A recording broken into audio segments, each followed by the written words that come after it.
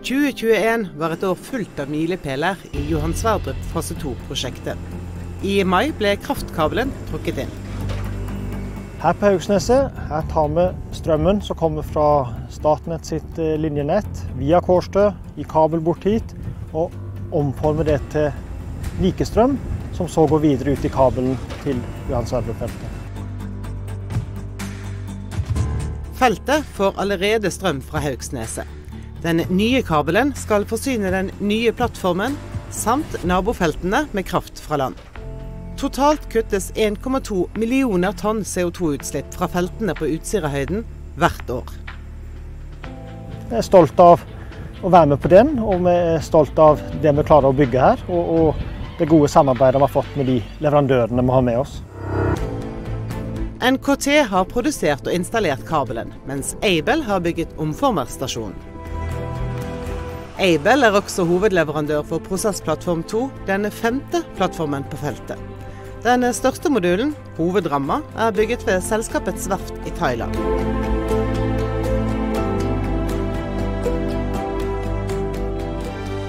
HVDC-modulen, som tar imot strøm fra land og sender den videre til andre felt, kom fra Navantia i Spania og ble utstyrt i Haugesund. Mens utstyrsmodulen ble bygget i Haugesund. Det er jo eh, ekstremt tilfredsstillende å nå den type milepæler som vi nå står foran. Det er noe du jobber hardt opp mot eh, over lang tid. Og det å se resultatet, at ting skjer i den sekvensen og i den, innenfor den tidsramma som du egentlig har skedulert, det er ekstremt tilfredsstillende. I mai møttes modulene i Gismarvik sør for Haugesund for å bli til ett plattformdekk. Satt sammen av verdens største kranløftefartøy, Sleipnir. De var eh, veldig stolt når vi seilte fra Thailand med MSFM. Og jeg må si jeg er like stolt nå når jeg ser han her utenfor Gismarvik. Og uh, matingoperasjonen på Johan Sverdrup uh, er godt, godt, i gang. Så dette her er kjempekjekt å se.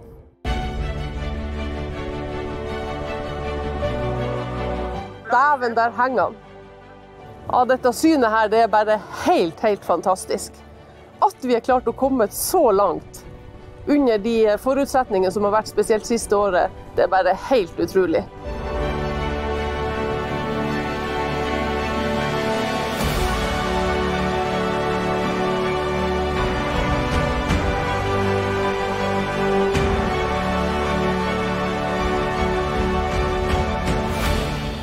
Tilbake i Haugesund ble modulene i det 23 500 tonn tunge plattformdekket sveiset sammen. Samtidig så skal vi sy sammen alle disse kablene som går mellom disse modulene, og, og teste ut det, sånn at det fungerer i henhold til hensikten, før vi da forlater Haugesund. Det blir våren 2022. Beina er alt på plass, de kommer fra Verdal.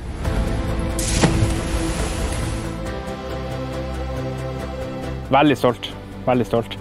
Og det jeg er stolt av, det er det vi har fått til sammen med, med Aker som leverandør. Og jeg er også stolt av eh, teamet mitt eh, på Verdalen, som har gjort en formidabel innsats. Det 12 000 tonn tunge stålunderstellet ble også løftet på plass av Sleipnir.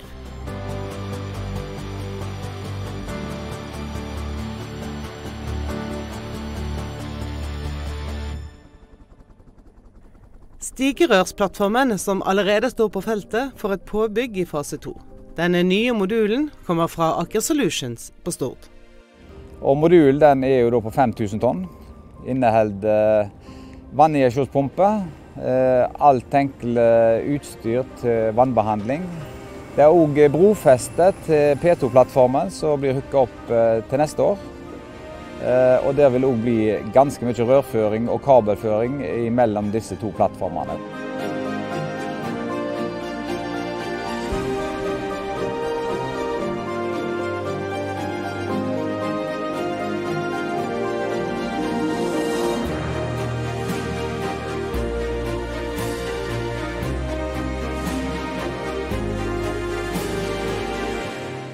Operasjonen har gått veldig bra. Vi har akkurat nå fått landa RP-modulen, og, og, alt har gått som planlagt.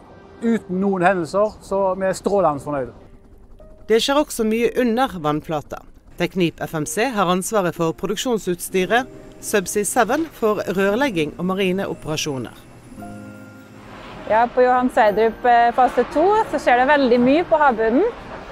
Så I år så har vi allerede installert eh, fem bunnrammer. Så nå er vi sånn sett klar for boring. Eh, vi har òg lagt strømkabel fra Haugsneset, og den ligger klar nå ved P2-jacketen. I tillegg så har vi et veldig omfattende mm, scope når det går på rør.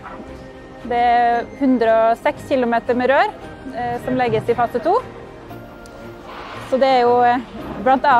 med det fartøyet som vi står på nå, Seven Vega, så eh, har vi også styringskabler som alle er trukket inn nå, så det har gått eh, kjempebra.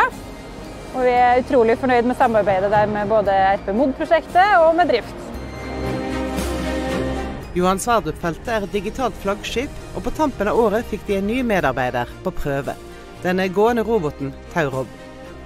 I 2022 skal flere droner testes ut på feltet, også under vann.